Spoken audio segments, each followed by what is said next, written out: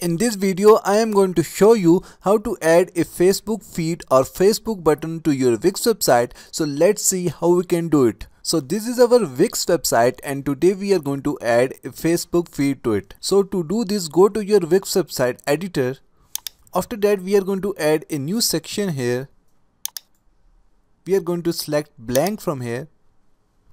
Now from the left menu, click on add elements and select social from here.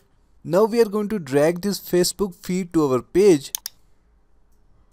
and as you can see that Facebook feed is now added to our website and now we are going to customize it according to our own choice. At first we are going to change this Wix page with our own page so we are going to click on add page name. So now we will go to our Facebook page, copy its ID from here. After the facebook.com, select the next part of your URL copy it, go back to your Wix website and paste it here.